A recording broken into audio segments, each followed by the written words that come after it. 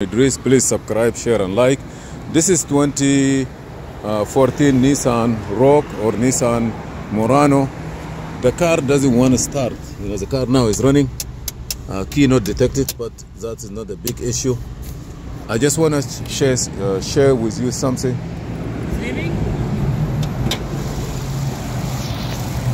So if you notice here, this battery terminal is very, very dirty and it caused a lot of problem jumping the car from the starter to start with the ignition on.